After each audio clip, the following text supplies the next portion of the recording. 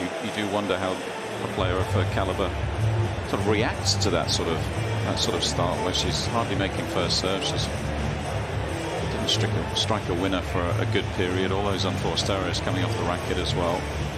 Let's see if getting on the Time. board in that last game helps settle her down. And now she's got to try and find the rhythm on her return.